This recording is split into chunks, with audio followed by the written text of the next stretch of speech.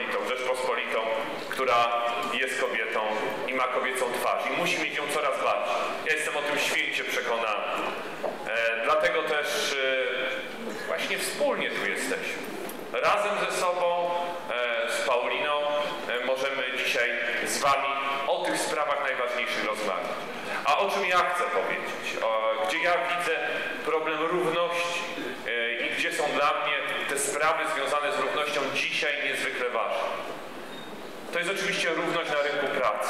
Wciąż ogromnie dużo niesprawiedliwości w wynagradzaniu kobiet, nierówności w wynagradzaniu kobiet. To wynika y, z tego, że dużą częścią składową naszych wynagrodzeń są dodatki stażowe. A z uwagi na to, że kobiety w ogromnej większości, dużo częściej niż mężczyźni, mają przerwę związaną z opieką nad dzieckiem, czy to urlopy macierzyńskie, rodzicielskie, czy urlopy wychowawcze, to nie pozwala na osiągnięcie takich e, e, składowych i tak wielu lat stażu pracy, żeby te dodatki dostawać szybciej. A one stanowią poważną część wynagrodzenia. To jest pierwsza nierówność, którą trzeba skończyć. W XXI wieku za taką samą pracę wykonywaną przez kobietę i przez mężczyznę musi być jedna płaca.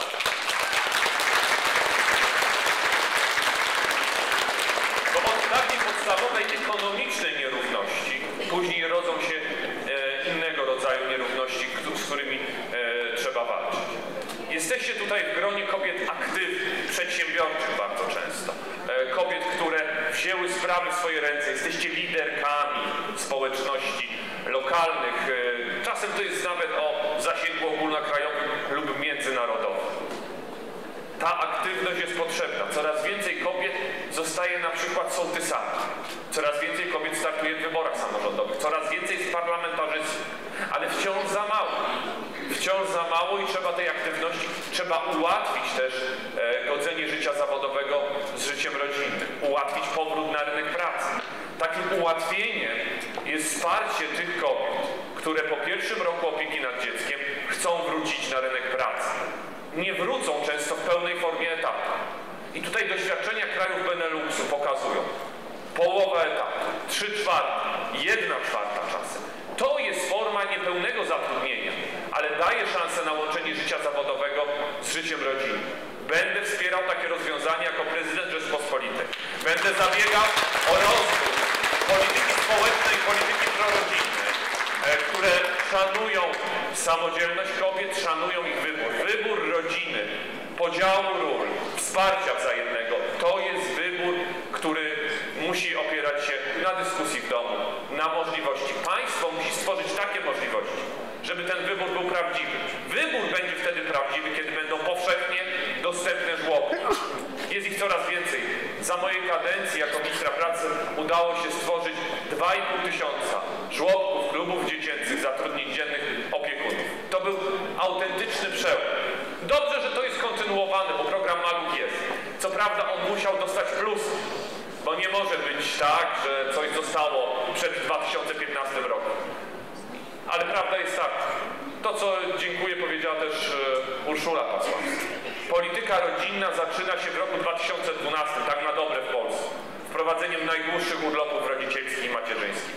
Programy MAL, to jeszcze Jola Fedak, którą chcę serdecznie pozdrowić, która dała pierwszy sygnał przyjmując ustawę żłobkową. Jej się też wielka wdzięczność za to należy.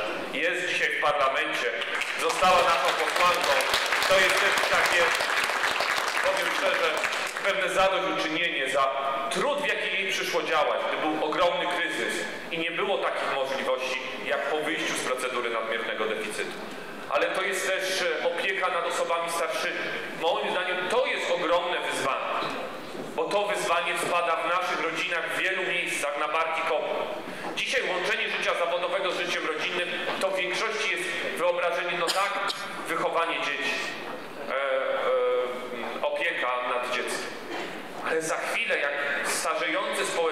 przekracza kolejne bariery, to opieka będzie nad naszymi rodzicami. To jest wielkie wyzwanie dla rodzin. Rodziny dzisiaj nie mieszkają wszystkie w jednym e, domu. Nie ma już takich e, domów zbyt często z wielopokoleniową rodziną pod jednym dachem. Wtedy ta możliwość opieki jest łatwiejsza. Dzisiaj często dzieci rozjechane po całym świecie, po całej Polsce e, i często na barkach jednej osoby, bardzo często kobiety, zostaje cała opieka nad dziećmi i nad dziadkami. To jest wielkie wyzwanie. Państwo musi pomóc. Państwo nie może zostawić samotnie. Nie zastąpi, ale też chcę powiedzieć Wam, Państwo nie zastąpi rodziny. Im dłużej w środowisku naturalnym zostaniemy, im dłużej osoby starsze przebywają w środowisku naturalnym, tym lepiej. Tym są po prostu w lepszej jakości zdrowia i życia. Oczywiście jest moment, kiedy zakład opiekuńczo-leczniczy, dom pomocy społecznej, dom spokojnej starości, ale lepiej zainwestować dzisiaj w dzienne doby pobytu. To jest szansa też na e, te, te, aktywność seniorów, ich rehabilitację i też danie szansy, żebyśmy w naszych rodzinach w tym pokoleniu średnim mogli prowadzić swoją aktywność. Kto wie, kto się opiekował swoimi rodzicami, dziadkami, często niesamodzielnymi w stopniu znacznym, niepełnosprawnymi. Wie, jakie to jest e, wyrzeczenie i wie, ile trzeba poświęcić. I to jest nasz moralny obowiązek, wynikający z przynależności do wspólnoty. Najpierw do tej wspólnoty rodziny. To jest moralny obowiązek e, w krajach naszej cywilizacji, cywilizacji zachodniej i Bogu dzięki. Ale to państwo musi też wspierać i stworzyć system usług opiekuńczych, e, które dadzą szansę na to, żeby opieka nad dziećmi czy rodzicami nie była jedyną pracą, którą trzeba wykonywać, żeby też zawodowo móc się rozwijać. Kolejna sprawa to edukacja. Chcę pozdrowić, bo większość nauczycieli w Polsce to są kobiety. Chciałbym im bardzo serdecznie podziękować. To jest pewna tak samo jak chcę podziękować pielęgniarkom, bo to też jest większość, e, to są kobiety. Są zawody, które wciąż są mocno sfeminizowane i do nich się też w ten sposób przyzwyczailiśmy e, i wykonują tą misję w niezwykły, w niezwykły, piękny sposób, choć nie jest to praca łatwa. Pamiętam rozmowy z moimi koleżankami w szpitalu, e, które muszą mieć nie tylko siłę psychiczną, bo cierpienie ludzkie, jak się z nim stykasz na co dzień, jak musisz e, dawać nie tylko przepis na lekarstwo, receptę na różnego rodzaju, rodzaju medykamenty, ale musisz dawać nadzieję. Bo ochrona zdrowia, personel medyczny, lekarze, pielęgniarki, fizjoterapeuci, ratownicy medyczni, oni muszą wykonywać, musimy wykonywać swoje zadania i kierować się najlepszą wiedzą medyczną, pomagać. Ale to, co jest nieodłączne, to jest humanistyczne podejście w medycynie, czyli dawanie nadziei. Dużo częściej z powodów często braku czasu lekarz bardzo szybko chce przyjąć jak najwięcej pacjentów. To właśnie na pielęgniarce spada obowiązek dania tej nadziei, rozmowy, czasem chwycenia i przytrzymania za rękę. To leczy bardziej niż najnowsze, wcześniejsze często terapie. Bo bez nadziei, bez e, szansy i wiary w to, że wyzdrowiejemy, szczególnie w najtrudniejszych przypadkach, bez tego, co jest w naszych sercach i w naszej głowie, często nie możemy przebić pewnej bariery. Więc wszystkim tym, którzy wykonują zawody misji publicznej, odpowiedzialności publicznej, należy się nie tylko dobre wynagrodzenie, ale wielka wdzięczność i szacunek. I szansa, żeby mogły to, tą, ten zawód dalej wykonywać. Nie bez przyczyny mówię o szkole, e, bo wiem też ile czasu dzisiaj młode mamy poświęcają na odrabianie lekcji ze swoimi dziećmi. To jest e, autentycznie praca na kilku etapach. Najpierw tej pracy zawodowej, a później w domu. Nie tylko w sprawach dotyczących całego domu, gospodarstwa domowego, ale właśnie pomocy dzieciom. E, angażujmy w to też mężów jak najczęściej. Angażujmy to w ojców, w rodziców, dziadków. Ale to jest nie do przyjęcia, że, żeby po przyjściu z pracy, po przyjściu dziecka ze szkoły siedzieć 3-4 godziny codziennie i to dotyczy coraz częściej programy są tak przeładowane, e, informacji jest tak dużo, że wymaga zmiany polska szkoła. Nie w tym ujęciu, czy to będzie podstawówka czy gimnazjum, to już mamy za sobą. Tu decyzja została podjęta, nie ma co jej dzisiaj zawracać, bo to wywoła kolejny chaos.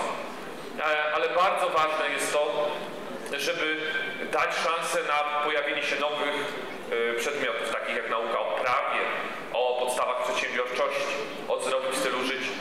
Trochę przejść ze szkoły, która uczy zapamiętywania, na szkołę, która e, uczy myślenia i to krytycznego myślenia. Oddzielenia prawdy od fałszu, ziarna od chleb, umiejętności znalezienia prawdy w tym bardzo szybko zmieniającym się świecie cyfrowym, wirtualnym, internetowym. To jest nasze ogromne zadanie i to jest wyzwanie dla setek tysięcy nauczycieli, ale przede wszystkim, bo ich jest więcej, nauczycielek w Polsce. Tą szkołę zmienimy razem z rodzicami, razem z nauczycielami, nie wbrew im. Tym się będziemy różnić. Moi drodzy, dziękuję wszystkim paniom w dostojnym wieku, które też tutaj przyjeżdżają, przychodzą na moje spotkania. Jesteście moją wielką siłą. Jesteście e, panie zorganizowane w uniwersytetach trzeciego wieku, klubach seniorów. Wy Jesteście drużyną Kosiniaka, tak jest. Dzięki wam. Dla was jest jeden wielki program. No on oczywiście jest programem równościowym, bo jest i dla mężczyzn, i dla kobiet. Ale patrząc na statystyki długości życia, no to dłużej z tego programu skorzystają kobiety. E, to jest emerytura bez podatku. Emerytura bez składek i bez podatku. To jest emerytura, która właśnie kobiety, bo najczęściej, najtrudniej utrzymać samotnie się w gospodarstwie e, domowym, jak zostaje samotna kobieta, mąż dostaje jedną wtedy emeryturę. Jeżeli ta emerytura nie będzie zwolniona z podatku, to dla niej utrzymanie szczególnie na wsi, domu całego, całego czasem gospodarstwa jest po prostu e, rzeczą, której nie są w stanie zrobić. E, dlatego przeprowadzają się, zmieniają, muszą porzucić swoje gniazda, a to wywołuje określone skutki e, dla zdrowia. Więc emerytura bez podatku jest dla wszystkich, ale jest szczególnie dla kobiet i, i będzie wprowadzona. To jest moje sztywne zobowiązanie. Paulina e, już mówiła o badaniach profilaktycznych. Mówimy o tym w tym dniu bardzo często. Tak, profilaktyka, mamografia, cytologia, różnego rodzaju badania. E, odwaga, żeby pójść na to badanie. Bo moje drogie, to teraz trzeba też zrobić rachunek sumienia. Czy z każdego zaproszenia na badanie przesiewowe skorzystało? Czy z każdego zaproszenia, które przyszło, bo ich są, to robi samorząd i robi e, Narodowy Fundusz Zdrowia. Musimy też dać odwagę tym, które się boją. Tym, które e, może jeszcze dzisiaj nie skorzystały nigdy z takiego badania. To też dotyczy bardzo mocno obszarów wiejskich. Tutaj wielkie zadanie dla kół gospodyń wiejskich. Pozdrawiam Bernadetę Niemczyk, szefową kół gospodyń wiejskich, która jest z nami dzisiaj. Witamy Cię serdecznie. Jesteś z nami na każdej tego typu konferencji.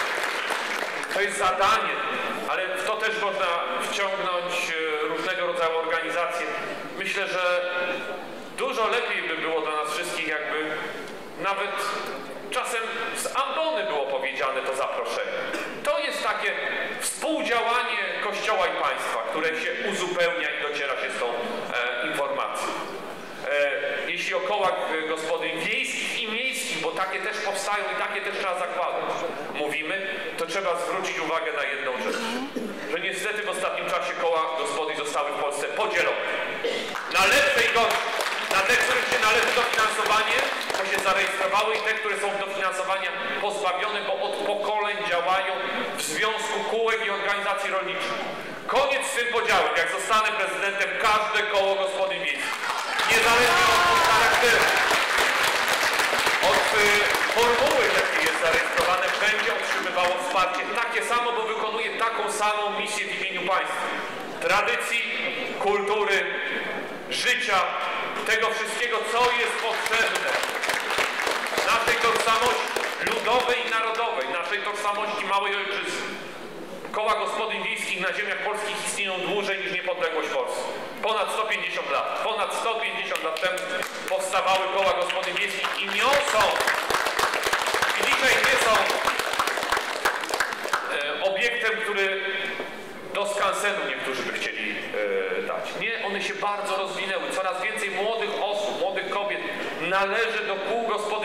i bardzo Wam za to dziękuję. Przekażcie pałeczkę tym wszystkim kolejnym pokoleniom. Inaczej ta tradycja po prostu nie będzie się rozwijać. Musi być solidarność międzypokoleniowa. Musi być miejsce dla tych, które są w dostojnym wieku i dla tych, które dzisiaj zakładają rodziny, wchodzą w dorosłe życie. One też muszą nieść tą tradycję, kulturę narodową, ludową, społeczną, naszą, polską, wspaniałą, europejską.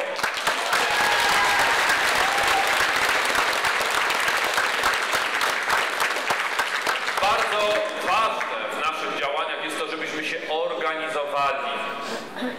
Tylko zorganizowani, tylko współdziałający jesteśmy w stanie wdrożyć i te postulaty, ale też zmienić i dać nadzieję na Polskę bardziej uśmiechniętą, bardziej przyjazną. No to jest podstawa tak naprawdę naszego życia. Jeżeli w nas będzie więcej radości, jeżeli tą radością będziemy się dzielić z innymi, wy to potraficie najlepiej. Ta uśmiechnięta twarz Rzeczpospolitej, która jest kobietą, musi stać się przykładem dla całego świata i dla całej Europy. I to jest możliwe, bo musimy przywrócić nadzieję. Nadzieję, która dla chorych, nadzieję dla przedsiębiorców, nadzieję na lepszą szkołę, nadzieję na zdrowe środowisko. Bo to, co też przekażemy naszym dzieciom i wnukom, ja to myślę zawsze o mojej Zosi, jak o tym mówię. O naszej Zosi. E, jak o tym mówię, e, to jest obowiązek polityków. Zadbać o to, co dostali, oddać w lepszym stanie niż zastali, nie w gorszym. My nie zdamy egzaminu z bycia politykami myślącymi o przyszłych pokoleniach, jeżeli nasze środowisko, naszą zieloną planetę zdewastujemy, wy, wyjałowimy, wykorzystamy, można powiedzieć, i później co? To w czym oni będą żyli? W tej atmosferze nie dość, że popapranych już dzisiaj e, relacji, e, takich przedzielonych tą chorobą nienawiści, relacji międzyludzkich, to jeszcze e, taką, w której się nie da pełną piersią oddychać, bo jest tak zanieczyszczone środowisko. I to jest odpowiedzialność nie tylko polska, powiem szczerze, nawet nie tylko Unii Europejskiej, ale to jest ogólnoświatowa. Inaczej tego nie rozwiążemy, ale ta świadomość musi być w nas. Ona musi wynikać i przekazywanie tej wiedzy i umiejętności, choćby prosta sprawa, butelkomatu, czyli butelek zwrotnych, plastikowych i szklanych. To może bardzo pomóc. To jest prosta rzecz. Może się wydawać trywialna. Nawet nikt mi, ktoś kiedyś pyta, a pan kandyduje na prezydenta, a pan mówi o butelkomatu. Ja będę mówił o wszystkim, co może zmienić życie na lepsze. I nie ma takiego tematu. Bo to są proste rzeczy, które nie wymagają wielkich pieniędzy, ale dokonują wielkiej zmiany, prawdziwej zmiany. Bo dobra nie że zawsze jest prawdziwa i nie zawsze jest najlepsza. Moje drogie, Szanowni Państwo, chcę też podziękować tym wszystkim paniom, kobietom, z którymi mi przyszło współpracować w ostatnich latach. Razem też e, udało nam się podnieść często już skazany na porażkę ruch ludowy, ruch społeczny, który e, tworzymy od pokoleń, na, nie tylko naszą formację, ale zbudować i nadać jej też najpiękniejsze imię naszej ojczyzny. E, bardzo serdecznie dziękuję tym, które razem ze mną zmieniają też PSL na lepsze, bo to jest potrzeba. Nie ma tak, że było coś idealnego. Nigdy nie jesteś, w polityce nie ma ideału. To po pierwsze. Po drugie, zawsze trzeba dążyć do czegoś nowego, lepszego i to jest bardzo ważne. E, tak ogromnie serdecznie dziękuję Tobie, Urszula, bo jesteś wiceprezesem PSL-u, i posłanką kolejną kadencję. Jesteś też takim symbolem e, PSL-u właśnie dbania o sprawy kobiece, za to zresztą też w sztabie odpowiadasz. Elżbieta Wilczycka, która pięknie nam powiedziała o historii, o Helenie Modrzejewskiej, o Marii Skłodowskiej-Curie, o takich przykładach e, kobiet, które zmieniły bieg historii. Dostały Nagrody Nobla, były wielkimi artystkami. E, ja też e, kocham historię, więc dwa zdania o tym. Zielony Krzyż i Ludowy Związek Kobiet. To jest piękna historia właśnie Odsłoniliśmy wspólnie z marszałkiem Zgorzelskim pomnik batalionu chłopskich i Ludowego żebyśmy o tym nie, nie zapomnieli. To jest też ta historia, że kobiety mają wkład nie tylko w naszą kulturę, tradycję, w opiekę nad rodziną, w język, który pięknie zachowała i przeniosła, ale mają wielki wkład też w niepodległość, w to, że mogliśmy dojść do niepodległości. I wspominam wszystkie, nie tylko sanitariuszy, ale też dowodzące choćby oddziałami batalionów chłopskich w różnych częściach i w różnych momentach historii Rzeczpospolitej. Dziękuję Ci Elu e, za tą historię, którą dzisiaj przypomniałaś, ale, ale też niezwykle Ci dziękuję za to, co zrobiłaś e, dla mnie, dla naszej formacji. Jesteś super, naprawdę. No i dzisiaj też nieprzypadkowo na zielono cała.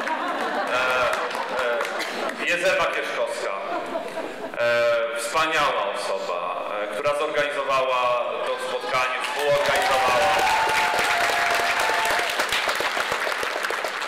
Pracujemy od lat. e, Też dzięki Ewie mogę stać dzisiaj przed Wami, bo ona, kiedy wspólnie z Waldemarem Pawlakiem e, zarządzali stronnictwem, dawała mi ogromne wsparcie, promowała, e, wspierała. E, Bez Ciebie, Ewa, nie mógłbym być dzisiaj kandydatem na prezydenta.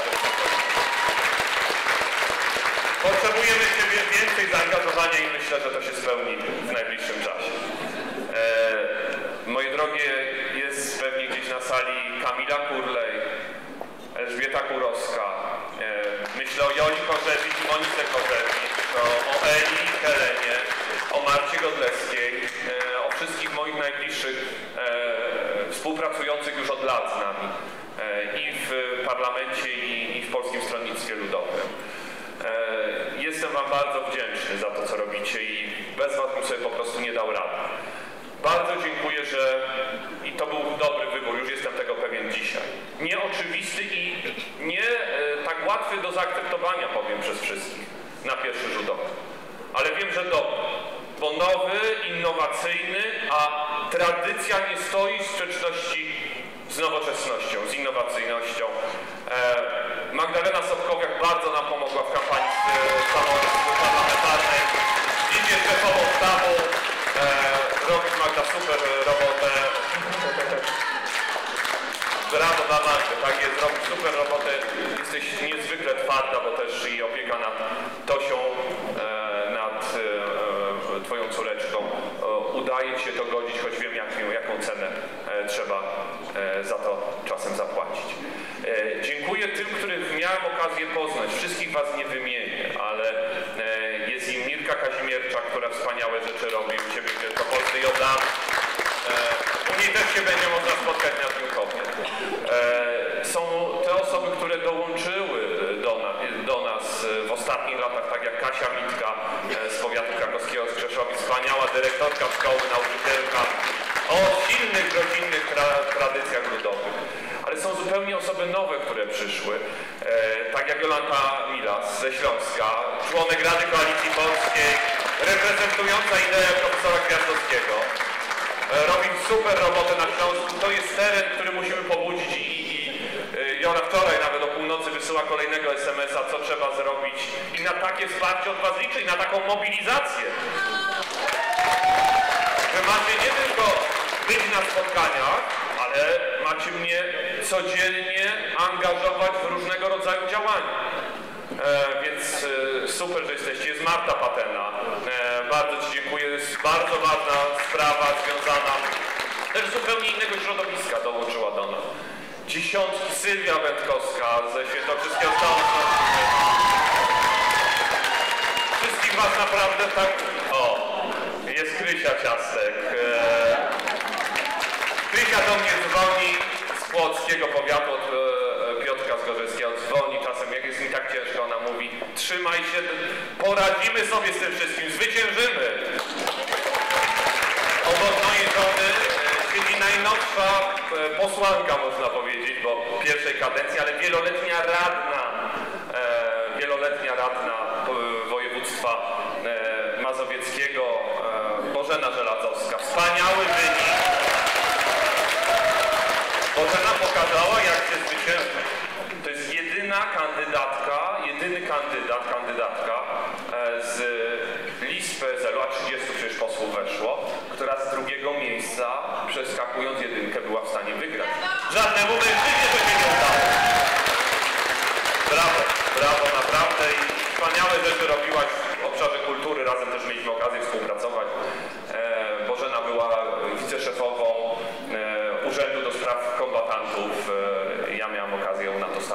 rekomendować, więc e, no jest wiele osób na tej sali, którym ja jestem niezwykle e, wdzięczny e, za to, co robią. Pozdrawiam Agnieszkę Ścigaj, która dzisiaj nie może być z nami. Jole już wspominałem.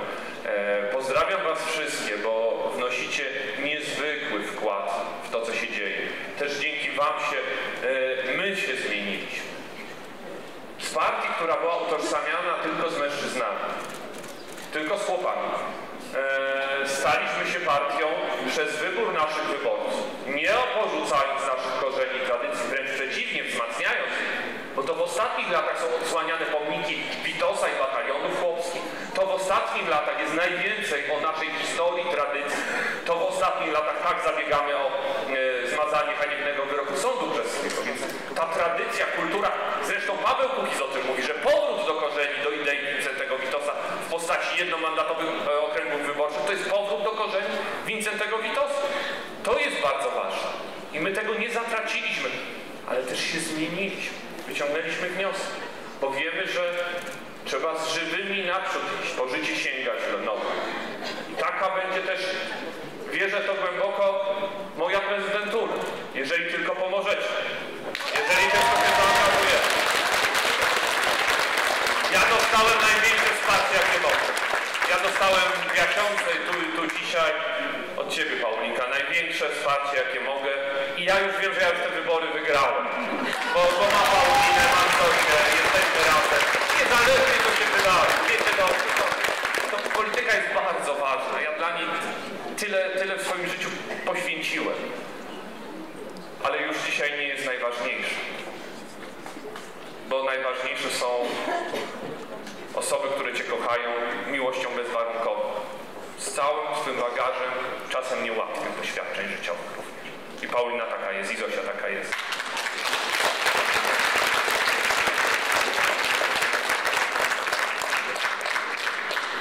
Moje drogie, e, no cóż Wam mogę na koniec powiedzieć? Powiem dwa słowa.